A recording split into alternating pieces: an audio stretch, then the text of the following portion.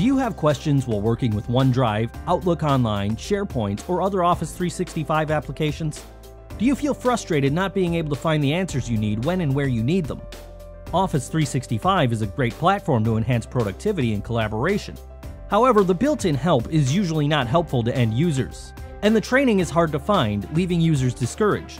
Introducing the Visual SP Help System for Office 365, an award winning add on application that gives you in context help and training instantly.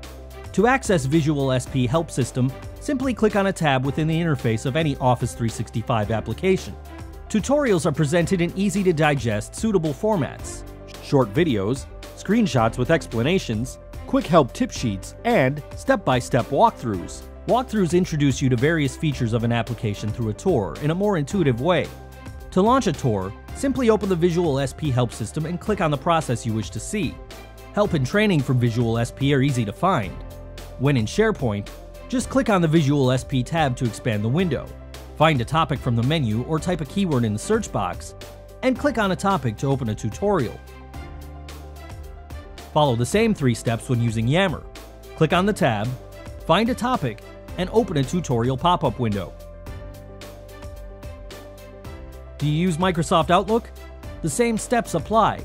Click on the tab, find a topic, and open a tutorial.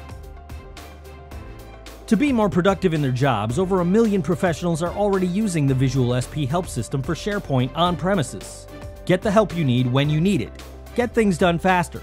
Very soon, Visual SP Help System for Office 365 is being released in beta. Join our beta group today and get all the benefits of early release updates. Go to http colon slash slash bit.ly slash o 365 help app v